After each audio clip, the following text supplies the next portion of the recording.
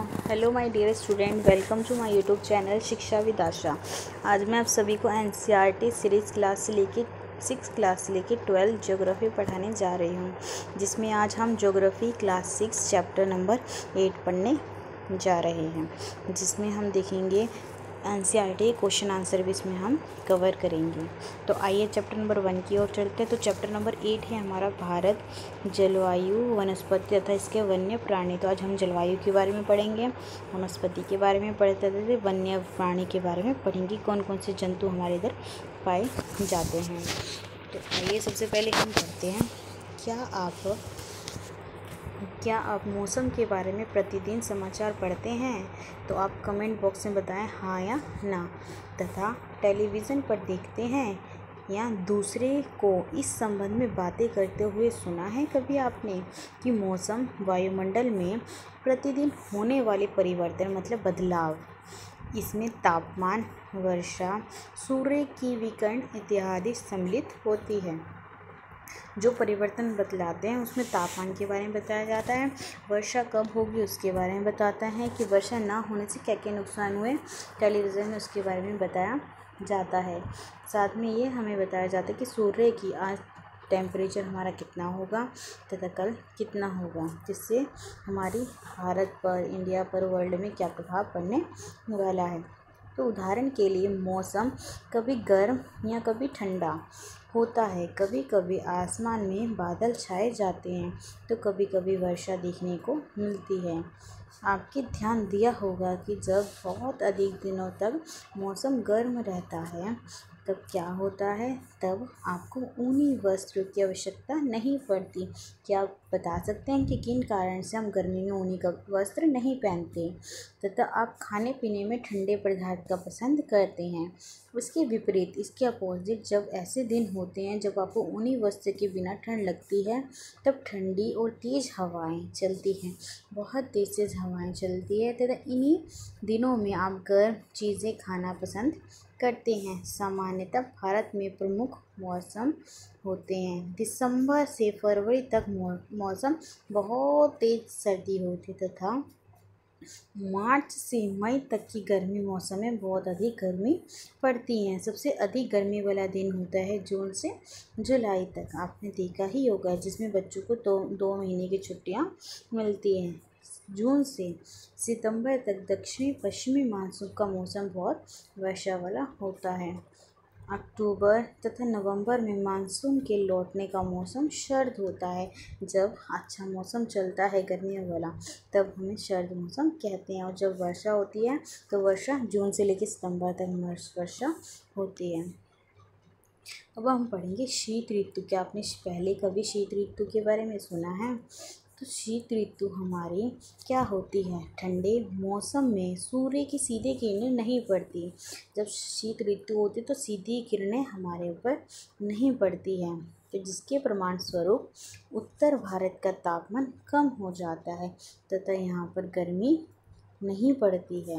और ग्रीष्म ऋतु क्या होती है? ग्रीष्म ऋतु वह ऋतु होती है जब गर्मी के मौसम में सूर्य की किरणें अधिकतर सीधी पड़ती है, बिल्कुल सर के ऊपर पड़ती है। तापमान बहुत अधिक गर्म हो जाता है। दिन के समय गर्म तथा शुष्क पवनें बहती हैं जिससे हमें लू कहते हैं। जिसे हम क्या कहते हैं? लू कहते हैं। अक्सर जून और जुलाई में अत्यधिक लू का सामना लोगों को करना पड़ता है, जिससे काफ़ी लोग बीमार हो जाते हैं। आइए नेक्स्ट स्लाइड की ओर चलते हैं, जिसमें हमने देखा, ये आपको करके देखना है। तो इसमें क्या करना है? तो आइए मैं आपको बताऊँ, ये आपकी एक्टिविटी है जो आपको करनी है। जिसमें हमने देश के सभी लोगों में, भागों में लोग अपने क्षेत्र में पाए जाने फलों, ठंडे पेयजल तथा शरबत कहा जाता है। इनका सेवन करते हैं।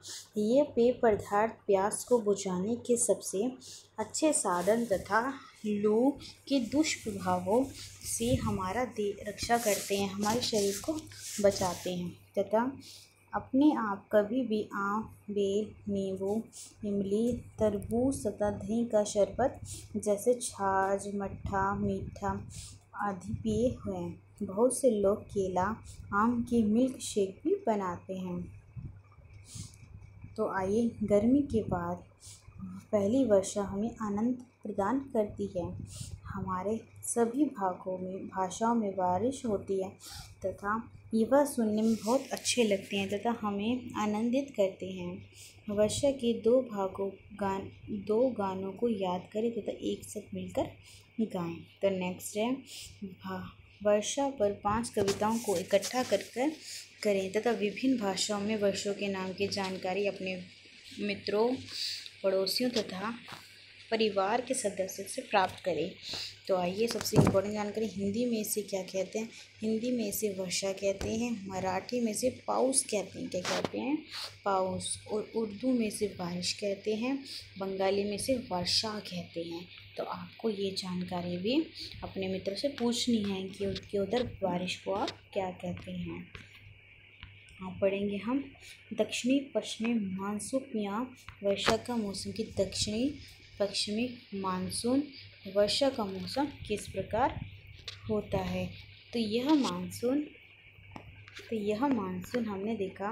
यह मानसून आगे बढ़ने का मौसम है। इस समय पवन बंगाल की खाड़ी तथा अरब सागर से स्थल की ओर बहती है। वे अपने अपने साथ नमी भी लाती है। जब ये पवन पहाड़ी से टकराते हैं, तब यहाँ पर वर्षा अत्यधिक होती है। साथ में हमने देखा, मानसून के समय, मानसून के लौटने के समय शरद ऋतु, जो शरद ऋतु होती है, वहाँ पर क्या फ़र्क होता है? इस समय पवन स्थलीय भागों से लौटकर बंगाल की खाड़ी और बहती है। यह मानसून के लौटने का मौसम होता है, जिस जब मानसून मौसम बंगाल की खाड़ी की ओर बहती है, तब हमें पता चलता है कि मानसून आने वाला है। तथा ठंडी ठंडी हवाएँ चलने लग जाती हैं। भारत के दक्षिणी भागों में विशेषकर तमिलनाडु तथा आंध्र प्रदेश में इस मौसम में वर्षा होती है।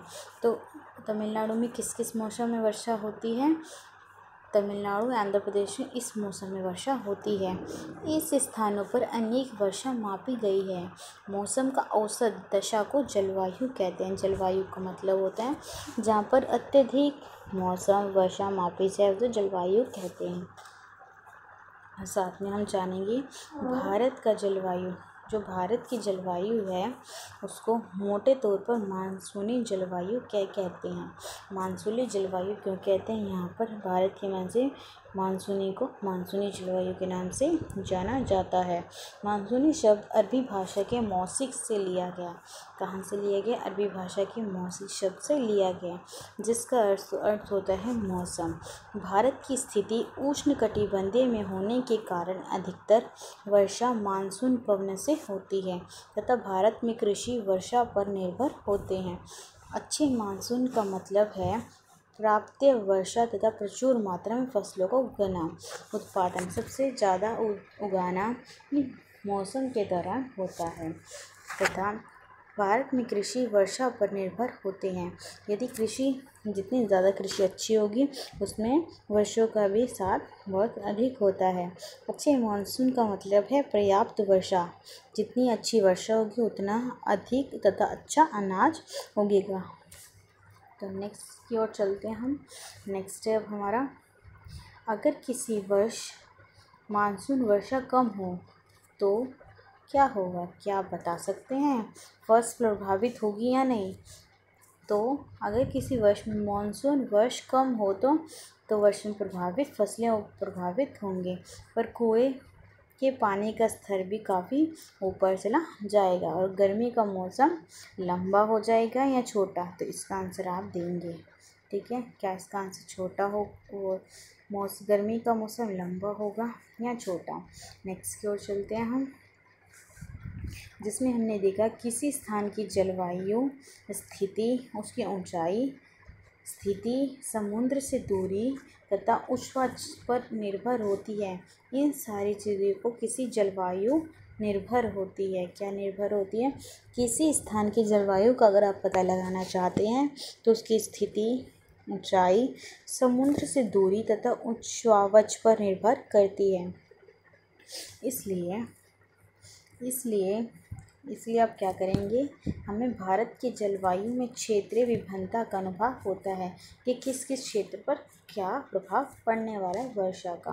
राजस्थान के मरुस्थलीय में स्थित जैसलमेर तथा बीकानेर बहुत गर्म देश है। तो ऐसे कि इन्हें दो देशों के नाम बताएँ जो अत्यधिक गर्म हैं तो जैसलमेर तथा बीकानेर। ये सबसे अधिक गर्मी वाले क्षेत्र हैं। नेक्स्ट है, जबकि जम्मू और कश्मीर की दास कारीगल में बर्फीला ठंड पड़ती है। क्षेत्र में जैसे मुंबई तथा कोलकाता की जलवायु मध्यम है, वहाँ पर कम सर्दी होती है। वे ना ही अधिक गर्म होते हैं और ना ही अधिक ठंडे। समुद्री तट पर होने के कारण ये बहुत अधिक आर्द्र वाले होते हैं। विश्व में सबसे अधिक वर्षा मेघालय में स्थित मौसिन राम में होती है। कहाँ पर होती है? मौसी राम में सबसे अधिक वर्षा होती है। तथा जबकि किसी किसी वर्ष स्थानों के जैसलमेर में वर्षा नहीं होती है। यहाँ पर वर्षा अधिक नहीं पाई जाती हैं। साथ में हम देखेंगे प्राकृतिक वनस्पति प्राकृतिक वनस्पति क्या है? हमने अपने चारों तरफ़ विभिन्न प्रकार का पौधा, जीवन देखा है कि कौन कौन से तरह के पौधे होते हैं। कोई झाड़ी वाले होते हैं, कोई कटीले होते हैं। अनेक प्रकार के पौधों के बारे में हमने देखा है तथा पढ़ा है। हरे घास वाले मैदान में खेलना इतना अच्छा लगता है कि कुछ पौधे छोटे होते हैं, जिन्हें झाड़ी कहते हैं। जो पौधे छोटे होते हैं, उन्हें झाड़ी कहते हैं, जैसे कैक्टस का पौधा तथा फूल वाले पौधे इत्यादि। इसके अतिरिक्त बहुत से लंबे वृक्ष होते हैं, उनमें से कुछ की शाखाएँ, पत्तियाँ होती हैं, उनकी शाखाएँ भी निकलती हैं तथा पत्तियाँ भी वहाँ से निकलती हैं। उनके नाम है नीम, आम तथा अनेक प्रकार के वहाँ पे पौधे पाए जाते हैं। कुछ वृक्ष ऐसे होते हैं जिनमें पत्तियों की मात्रा बहुत कम होती है, जैसे नारियल का, घास, झाड़ियाँ तथा पौधे जो बिना मनुष्य की सहायता से उपजे हैं। उन्हें प्राकृतिक वनस्पति कहते हैं। क्या कहते हैं बच्चों ने प्राकृतिक वनस्पति कहते हैं। क्या आप यह नहीं सोचते कि एक दूसरे से किस प्रकार ये भिन्न है। किस प्रकार पेड़ पौधे भिन्न हैं? कोई छोटे पेड़ पौधे पाए जाते हैं तो कोई बहुत बड़े पेड़ पौधे पाए जाते हैं। कोई कटीले होते हैं तो बिना कोई कांटे वाले के होते हैं। अलग अलग जलवायु में अलग अलग प्रकार की वनस्पति पाई जाती हैं। आपने देखा होगा अक्सर किसी जब अधिक वर्षा होने लगती है तो अत्यधिक पेड़ की पत्तियाँ झड़ जाती हैं। इसमें से वर्षा की मात्रा सबसे महत्वपूर्ण होती है।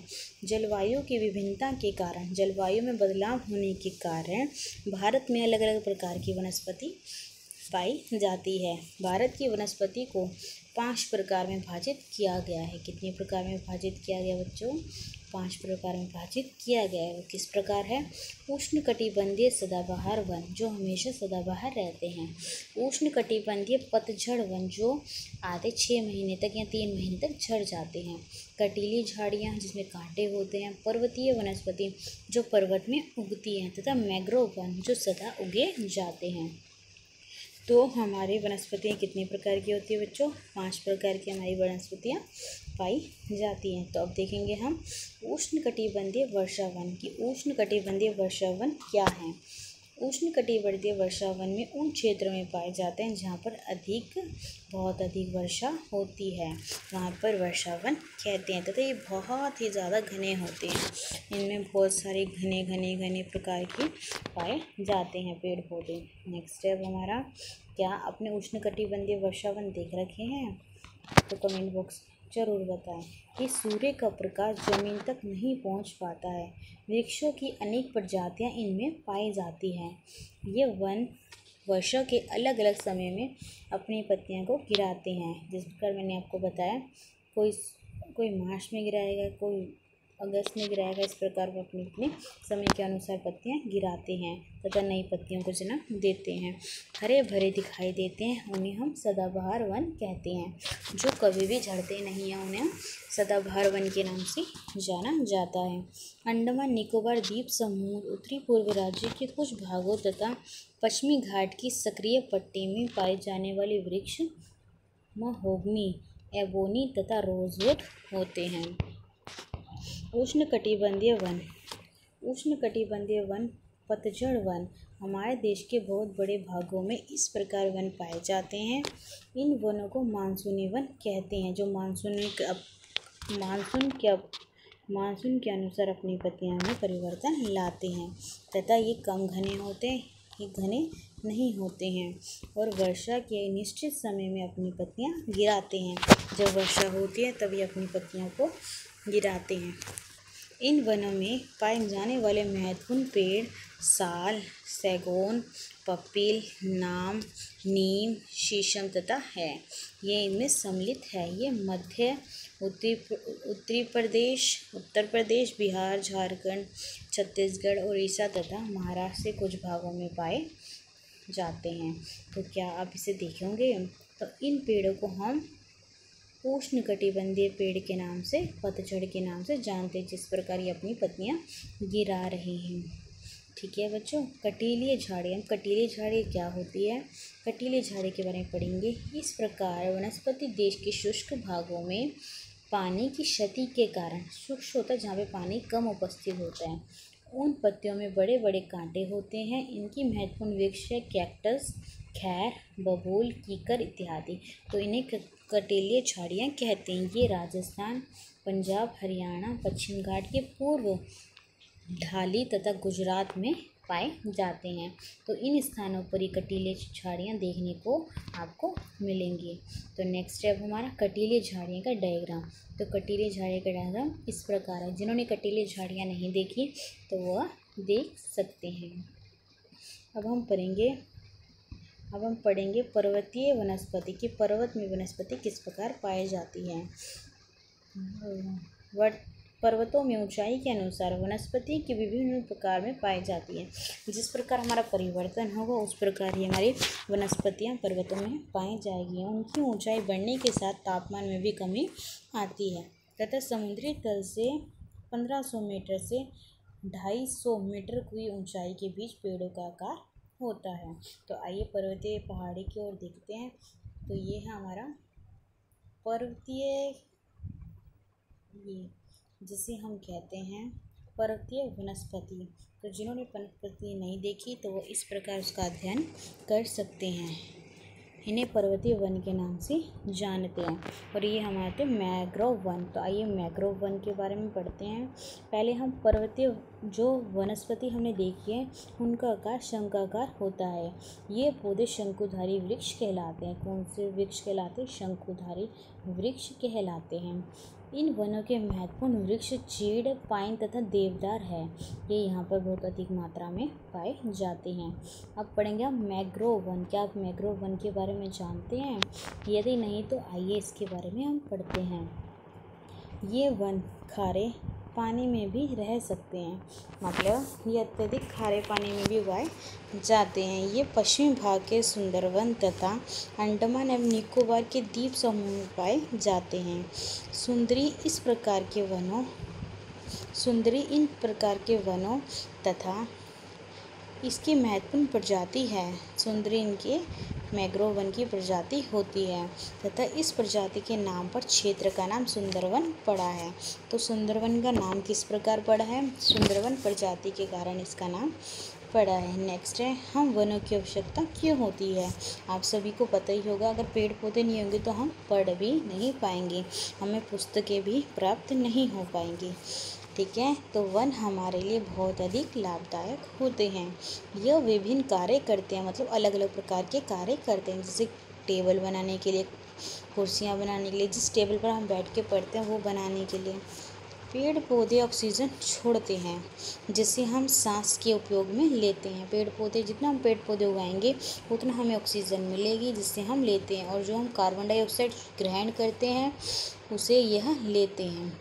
पेड़ पौधे ग्रहण करते हैं। पेड़ पौधों की जड़ मिट्टी को बांधे रखती है। इस प्रकार वे मिट्टी के आपर्दन को रोकते हैं। पेड़ पौधे कहते हैं? जड़ों को मिट्टी में बांधे रखते हैं। अगर कोई बाढ़ बाढ़ आती है तो वो उसका सामना करने के लिए काफ़ी लाभदायक होते हैं।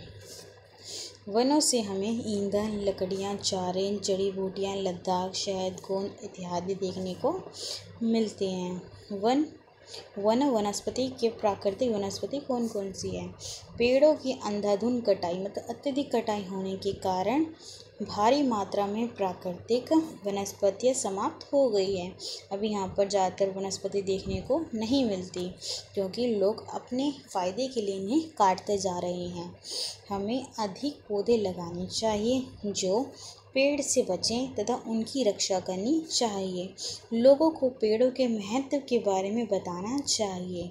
हम लोग कुछ खास आयोजन, जैसे वन महोत्सव मनाकर अधिक से अधिक पेड़ का प्रयास कर सकते हैं लगाने के लिए। तथा यदि आप सभी का जन्मदिन होता है तो उस दिन आप एक पौधा लगा सकते हैं। अपने हर जन्मदिन पर एक पौधा लगाएँ। पृथ्वी को हरा भरा रख सकते हैं। इस प्रकार आप पृथ्वी को हरा भरा रख सकते हैं। तो आइए हम नेक्स्ट की ओर चलते हैं। तो नेक्स्ट स्टेप हमारा वन्य प्राणी। क्या आपने वन्य प्राणी के बारे में सुना है? यदि नहीं तो आइए पढ़ते हैं। वन विभिन्न प्रकार के वन्य जीव का निवास होता है। क्या आपने देखा है? काफ़ी चिड़िया काफ़ी सारी चिड़िया अपना घोंसला पेड़ों में बनाती हैं। उसी प्रकार वन्य जीवों के निवास करते हैं, यहाँ पर रहते हैं। वनों में जंतुओं की हजारे प्रजातियाँ तथा बड़ा बड़ी संख्या में विभिन्न प्रकार के सरीसर उभचर तथा पक्षियाँ, स्तनधारी कीट कृत्रिम का निर्वास होता है, वह यहाँ पर रहते हैं। बाघ हमारा राष्ट्रीय पशु है, बाघ क्या हमारा राष्ट्रीय पशु है? ये देश के विभिन्न भागों में पाया जाता है तथा गुजरात के गिर वन में एशिया शेरों का निवास होता है। जो गिर वन है, वहाँ पे कौन से जानवर पाए जाते हैं? तो वहाँ पर एशियाई शेर पाए जाते हैं। हाथी का भी एक ऐसा ही इस प्रकार का निवास है, जैसा कि आपको ये चित्र में बताया गया है। तो हमने देखा सींग वाले गेंडे असम के जंगलों में घूमते हैं। कहाँ पे घूमते हैं वह असम के जंगलों में घूमते हैं। हाथी, केरल, कर्नाटका में भी मिलते हैं। हाथी इन तीन जगहों पर देखने के लिए मिलते हैं। ऊँट भारत के रेगिस्तान तथा जंगली गधों के कक्ष के रन में पाए जाते हैं। ऊँट यहाँ पर पाए जाते हैं। जंगली बकरी हिम तेंदुआ, बालू इत्यादि हिमालय के क्षेत्र में पाए जाते हैं। इससे अतिरिक्त बहुत से दूसरे जानवर जैसे बंदर, सियार, नीलगाय, चीतल इत्यादि भी यहाँ पर अधिक मात्रा में पाए जाते हैं। भारत में पक्षियों को भी ऐसी प्रचुरता होती है, जैसे मोर हमारा राष्ट्रीय पक्षी है। तो मोर हमारा क्या है? राष्ट्रीय पक्षी। भारत में पक्षी तोता, मैना, कबूतर, बुलबुल तथा बतख इत्यादि भी यहाँ पे होते हैं। अन्य बहुत सारे राष्ट्रीय पक्षी उद्यान हैं मतलब यहाँ पे लोगों का समूह पाया जाता है। पक्षियों को उनका प्राकृतिक निवास प्रदान करते हैं। प्राकृतिक निवास मतलब होता है पेड़ पौधों में अपना वो घर बना सकते हैं। उद्यान शिकारों से पक्षियों की रक्षा करते हैं। क्या आप जानते हैं कि यहाँ पर पाँच पक्षियों के नाम बता सकते हैं।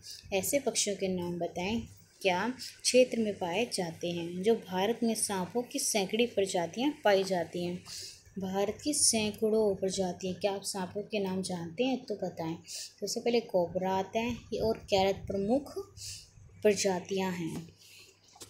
नेक्स्ट अब हमारा। वनों के कटने वनों के कटने तथा जानवरों के जानवरों के शिकार के कारण भारत में पाई जाने प्रजातियाँ वन्य जीव की प्रजातियाँ होती हैं, तथा घटती ही जा रही हैं। बहुत सी प्रजातियाँ तो समाप्त हो चुकी है, ख़त्म ही हो चुकी हैं। जिनको ना निवास मिलता है, इसके कारण ना उनको खाने के लिए कुछ मिलता है तो वो मरते ही जा रहे हैं। उनको बचाने के लिए बहुत से नेशनल पार्क, पशु विहार जीव मंडल आरक्षित क्षेत्र यहाँ पर स्थापित किए गए हैं। सरकारों ने हाथियों तथा बाघों को बचाने के लिए भी बाघी परियोजना तथा हस्तीय परियोजना भी शुरू की है। साथ में क्या आप जाने, भारत के कुछ पशु विहारों के नाम तथा मानचित्र पर स्थिति बता सकते हैं कि कहाँ पर ये जानवर पाए जाते हैं? तो आप सभी को बताना है कि ये कहाँ पाए जाते हैं। क्या आप वन्य जीवन के संरक्षण में भी अपना हाथ बटा सकते हैं? जानवर के शरीर के विभिन्न अंगों जैसे हड्डी, सींग, पंख से बने पदार्थों को खरीदने के लिए इनका उपयोग कर सकते हैं। प्रत्येक वर्ष में हम लोग अक्टूबर के पहले सप्ताह के वन्य जीव सप्ताह के रूप में मनाते हैं, ताकि वन्य जीव के निवास का संरक्षित करने के लिए जागरूकता लाई जा सके। तो आइए और बढ़ते हैं, हम इसके बारे में जानकारी हासिल करते हैं। तो अब हम पढ़ेंगे एनसीईआरटी के बारे में। उससे पहले हम ये जानेंगे प्रवासी पक्षी किसे कहते हैं। प्रवासी पक्षी, कुछ पक्षी हैं जैसे pelican, Siberian, crane, stork, flamingo pintail बतख कलीफ्यू इत्यादि प्रत्येक वर्ष सर्दियों के मौसम में हमारे देश में आते हैं। साइबेरियन क्रेन साइबेरिया से दिसंबर के महीने में यहाँ पर हमारे भारत में दिखने को मिलते हैं तथा मार्च के आरंभ तक यह रहते हैं। मार्च के शुरू होने से पहले पहले यह यहाँ पर रहते हैं। तो क्वेश्चन नंबर वन, अभ्यास से क्वेश्चन नंबर वन के पास चलेंगे हम, जिसमें हमें क्वेश्चन नंबर वन बता रखा है कि कौन सी पवन कौन सी पवन भारत में वर्षा लाती, क्या बता सकते हैं? आपने सुना ही होगा, जिस प्रकार मैंने अभी आपको चैप्टर में पढ़ाया है, मानसूनी पवनें भारत में वर्षा लाती है, तथा भारत में कृषि वर्षा पर निर्भर होते हैं। जो भी फ़सलें उगाई जाती है, अत्यधिक वह वर्षों पर निर्भर होते हैं। अच्छी मानसून का मतलब होता है पर्याप्त वर्षा तथा बहुत प्रचुर मात्रा में फ़सलों का उत्पादन होना। तो नेक्स्ट क्वेश्चन है अब हमारा। भारत के विभिन्न मौसम के बारे नाम बताने। किस प्रकार के मौसम हमारे भारत में पाए जाते हैं? तो दिसंबर से फरवरी तक ठंडा मौसम होता है, जिसे सर्दी में आता है। मार्च से मई तक के गर्म मौसम में आते इसे गर्मी कहते हैं। जून से सितंबर तक दक्षिण पश्चिम मानसून का मौसम होता है, जिसे हम वर्षा कहते हैं।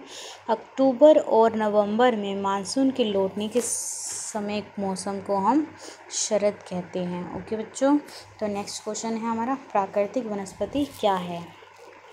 जिस प्रकार अभी मैंने आपको पढ़ा है, जो घास, झाड़ियाँ तथा पौधे बिना मनुष्य की सहायता से उग जाते हैं, उसे प्राकृतिक वनस्पति कहते हैं। बिना किसी के उगाए उग जाना उसे प्राकृतिक वनस्पति कहा जाता है।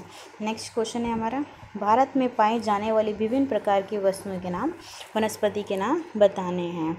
तो भारत में पाई जाने वाली विभिन्न अलग अलग तरह के होते हैं, जिस पर मैंने बताया आपको पाँच तरह के वनस्पति पाई जाती है तो उनके नाम हैं उष्ण कटिबंधीय सदाबहार वन, जो हमेशा रहते हैं। उष्ण कटिबंधीय पतझड़ वन, ऐसे पेड़ पौधे जो अपने छः महीने या तीन महीने में मौसम के अनुसार अपनी पत्तियाँ को झाड़ते हैं तथा कटीली झाड़ी जहाँ पे कांटे उपस्थित होते हैं। पर्वतीय वन, ऐसे पर्वत जो शंकुआकार होते हैं तथा पर्वतों में पाए जाते हैं। मैग्रोव वन, जो सदा हरित वन होते हैं, उसे मैग्रोव वन कहते हैं। क्या आप क्या आप बता सकते हैं कि सदाबहार वन तथा पतझड़ वन में क्या अंतर है? तो मैं किन्हीं दो का उल्लेख कर रही हूँ, बाकी आपको खुद पढ़ के लिखना है। तो सदाबहार वन वे अधिक घने होते हैं और सूर्य का प्रकाश की जीवन में, सूर्य का प्रकाश भी ज़मीन तक पहुँचने नहीं देते। इसी प्रकार जो पतझड़ वन होते हैं, वो कम घने होते हैं ये वर्ष में एक निश्चित समय पर अपनी पत्तियाँ गिराते हैं। वे वन देश के बहुत बड़े भागों में पाए जाते हैं। इसी प्रकार सदाबहार वन, ये वन वर्ष के अलग अलग समय पर अपनी पत्तियाँ गिराते हैं। तो नेक्स्ट क्वेश्चन है अब हमारा। तो उष्ण कटिबंधीय वर्षा वनों को सदाबहार वन क्यों कहते हैं? सबसे इम्पोर्टेंट क्वेश्चन है। बहुत बार हमसे पूछा गया है। तो नेक्स्ट क्वेश्चन है अब हमारा कि सदाबहार वन किसे कहते हैं? तो उष्ण कटिया वर्ष को सदाबहार वन क्यों कहते हैं? ये वन वर्ष के अलग अलग समय पर अपनी पत्तियाँ गिराते हैं, जिस प्रकार मैंने अभी आपको बताया है, जिसके कारण ये हमेशा हरे भरे रहते हैं। इसलिए इन्हें वन को सदाबहार वन हम कहते हैं। नेक्स्ट क्वेश्चन की ओर चलते हैं अब हम। नेक्स्ट क्वेश्चन है, विश्व की सबसे अधिक वर्षा वाला क्षेत्र कौन सा है? क्या आप मुझे बता सकते हैं? विश्व का सबसे अधिक वर्षा वाला वन कौन सा है? तो इसका आंसर है मुंबई, आसनसोल या मौसिन सार। तो इसका आंसर है मौसिन ड्राम ठीक है? मैग्रो वन कहाँ पाए जाते हैं? खारे जल में, साफ़ जल है या प्रदूषित जल में? तो ये पाए जाते हैं हमारे खारे जल में। मोहोगनी, एव, रोजवुड वृक्ष कहाँ देखने को मिलते हैं? मोग्रू वन कहाँ देखने को मिलते हैं? तो ये मिलते हैं मैग्रो वन में, उष्णकटिबंधीय पतझड़ वन में या उष्ण कटिबंधीय सदाबहार वन में? तो ये देखने को हमें मिलते हैं। उष्ण कटिबंधीय सदाबहार वन में मैग्रो वन, रोजवुड वृक्ष पाए जाते हैं। नेक्स्ट क्वेश्चन है हमारा, जंगली बकरी तथा हिम, तेंदुआ कहाँ पाया जाता है? क्या ये हिमालय क्षेत्र में, प्रायद्वीपीय क्षेत्र में या गिर वन में पाए जाते हैं? तो कहाँ पाया जाता है ये? समून, यह पाए जाते हैं हिमालय क्षेत्र में। हमारे यह देखने को मिलते हैं। तो हमारा नेक्स्ट क्वेश्चन है अब।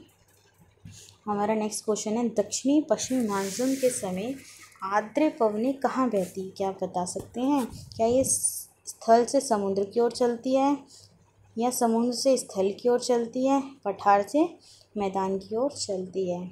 ये हमारा समुद्र से स्थल की ओर चलती है। तो सही उत्तर है हमारा समुद्र से स्थल की ओर जाना। आइए खाली स्थानों को भरें। गर्मी में दिन के समय शुष्क, दिन के समय शुष्क गर्म पवनें चलती हैं तो इन्हें हम लू के नाम से जानते हैं। आंध्र प्रदेश से तमिलनाडु में डैश के मौसम में अधिक मात्रा में वर्षा होती है तो इसमें वर्षा होती है लौटते हुए मानसून के अनुसार इसमें वर्षा देखने को मिलती है। तो नेक्स्ट क्वेश्चन अब हमारा, गुजरात के डैश वन डैश का निवास करते हैं तो गुजरात में क्या होता है? गिर तथा एशियाई क्षेत्र का निवास करते हैं। गुजरात में कौन कौन से जानवर पाए जाते हैं? गिर पाए जाते हैं तथा एशियाई शेर वहाँ पे देखने को मिलते हैं। नेक्स्ट है हमारा डैश मैग्रोव वन की प्रजाति होती है। तो सुंदरी हमारी मैग्रोव वन की प्रजाति होती है। नेक्स्ट है हमारा डैश को मानसून वन कहते हैं। तो उष्ण कटिबंधीय पतझड़ वन को हम मानसून वन के नाम से जानते हैं। आई होप कि आपको मेरी क्वेश्चन आंसर एनसीईआरटी की सॉल्यूशन समझ आ रहे होंगे। यदि किसी को कोई भी प्रॉब्लम हो तो आप कमेंट बॉक्स में बता सकते हैं। तो thank you for watching my video and please subscribe my channel अगर अगर वीडियो पसंद आए तो भी, अगर वीडियो पसंद ना आए तो भी तो अपना इम्पोर्टेंट सजेशन कमेंट बॉक्स में दे सकते हैं। Thank you watching my YouTube channel Shiksha with Asha